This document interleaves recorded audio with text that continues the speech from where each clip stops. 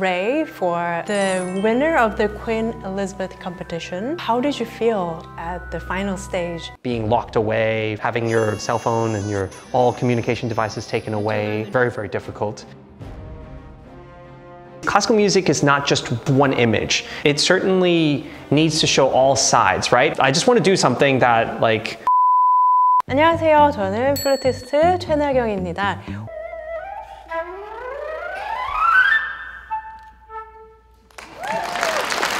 오늘 이 자리에 정말 스페셜한 음악가 한 명을 모시게 되었는데요. 스타 바이올리니스트 레이 첸을 모셨습니다.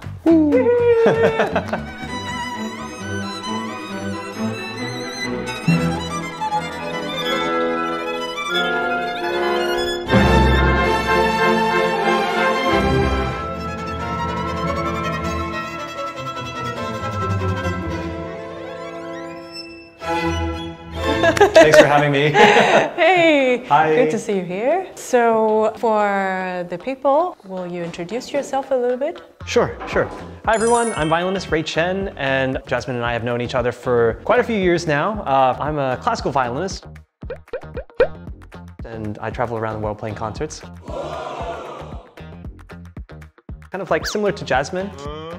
I enjoy also meeting friends. Hobbies include going to the beach, I really like that. And uh, also video games. I love video games. It's our first time seeing each other in Korea. Yeah, that's right. And you come to Korea quite often. Oh, I think it's I think it's definitely I love Korea, you know, and I love Right answer. Korean people. I love Korean food. I feel like it's very very homey, you know. I feel like Korean people are also very very passionate. They're great storytellers and they're very creative as well. And I really admire that. Mm. I get a lot of inspiration from that. That's good to hear. A lot of you know Ray for the winner of the Queen Elisabeth competition.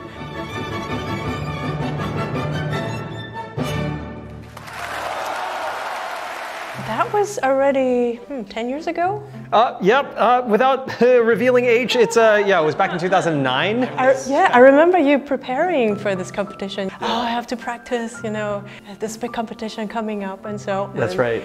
You came home with the prize. Yeah, it was it was it was a really difficult uh, achievement at the time, but then I realized shortly after that you know it was like the highest achievement as a student because I was still in at Curtis, and then suddenly it felt like, but then also the beginning, you know, of a professional career, which then I realized, oh wow, it's it's just starting now. I it's you know winning the competition and now and now all this new level of, of, of achievements that have to be done. right. You probably get this question a lot, but uh, how did you feel uh, on stage at the final stage? Oh, I was just so happy to be there, and I was so happy that I had made it that far. You know, it's it's the Queen Elisabeth goes back for us violinists especially. It goes back until you know David Oistrakh uh, first winning it, and and it has a long history. It has a long heritage, and so for me, you know, especially being able to be as, as a laureate, as a finalist, one of the twelve, and having that experience of especially of like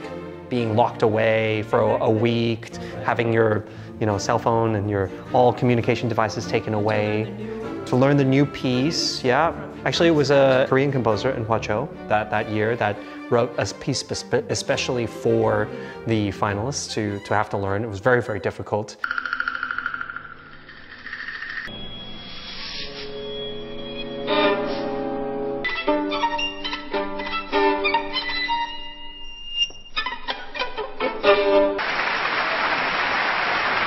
Plus the concerto that I played Tchaikovsky. I was already very happy that I finally got to be there and each round felt like a new experience. I didn't have so much uh, performance experience before, especially with orchestra, right? So each round it was like, wow, a unique, a new opportunity. And since then on, I think around this time you started putting these comedy videos on classical music. You know, nowadays we do these short videos for the social medias, but it was all all before everyone was doing it. You started putting in this very short, like 30 second videos. Ah, so ready to practice. 12 seconds later. You, you made us laugh so hard and we connected with you so well. So how did you come up with this idea? Social media wasn't the same as it is now.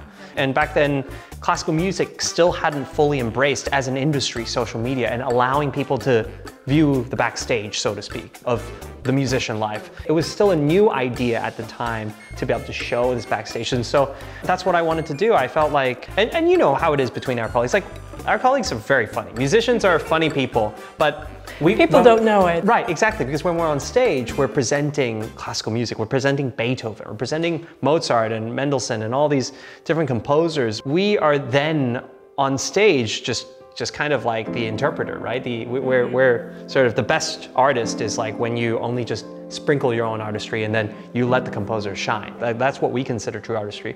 So I just want to do something that like I want to tell a story. I want to like tell the, the world who I am. I'm more than just a competition winner. I wanted to show people like who I was. And then if they would embrace that, then I felt like they could, they might, I don't know, who knows, might like my music more. By the way, uh, these days, you see some YouTube channels like Towmoo or TwoSet, and sometimes your channel as well. We can easily see that classical music can be also fun. Personally, I am very positive about this direction. What are your thoughts about this? Oh, I think that it's it's really great. I mean, classical music is not just one image. It certainly needs to show all sides, right? There are multiple facets to it. It's, it's just like a person, right? You have multiple different sides of your personality. Right, we're, we're not always serious. We're also human. Yeah. You know, we make jokes too, and we go through practice sessions and some funny, funny times as well. Especially nowadays, people want to know and relate more to what's happening on stage. I think changes, right, with, with the different ages. Let's say I like to give the example of, of, of 007, James Bond, right? It's a character that has been, you know, throughout the ages, but each remake, it's set in the current times, right? The jokes change. The jokes that would have been appropriate like, you know, 60 years ago are no longer appropriate in, in current days and times. And, and that's the way we need to also look at classical music as well. And so I think that like for these types of new directions, I, I always think that it's a wonderful thing. Yeah, I think this is, it's wonderful that what you're doing, what Towmoo is doing, and um, let's make classical music more fun, right? Yeah, more fun, more accessible, and more relatable. Yeah. And recently, you even created this app called Tonic. Yes. 요은이가 그 앱을 통해서 연습을 하면 전 세계에 있는 다양한 사람들이 요은이 연습을 실시간으로 듣고 요은이 연습에 대해 반응을 해줄 거예요. I had this privilege of joining this Tonic app as a how would you say? Uh, well, you've done so much for us as a special guest, as an educator, as a mentor. It's basically something that came from a desire to, again, connect with people, connect with musicians and like music lovers around the world, and to find something that we all had in common, right? Like, I mean, everyone has to practice to be a musician, right? Like, but everyone's gone through that feeling of that loneliness when you're practicing by yourself and, and the kind of procrastination, the, the hard to find motivation aspect. It's kind of like practicing for my mom in the kitchen. Just knowing that she was there listening, mm-hmm. it made me feel like, hey, I have a purpose. Like, of course, I always had my goals of, you know, wanting to learn this piece or go to this competition or, you know, become a great musician or something like that. But for today, my goal of just unpacking the case and practicing, that required something much more immediate. This is sort of like that, the same feeling as going to the gym together with somebody or going mm-hmm. into the library together to study. It's like that yeah. motivation, practicing together. Right. And what I also admire you about among many things, is that I know you're always doing something, you're always busy. I'm pretty sure you have no moment that you're bored.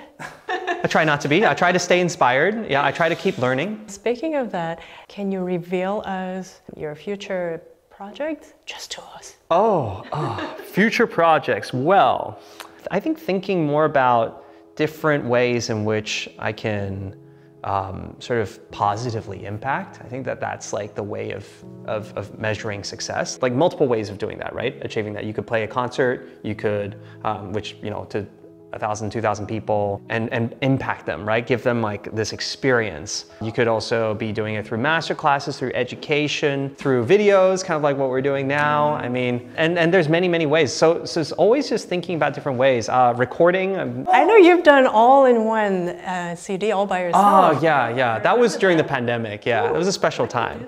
And at the same time, you were making the vlog out of it.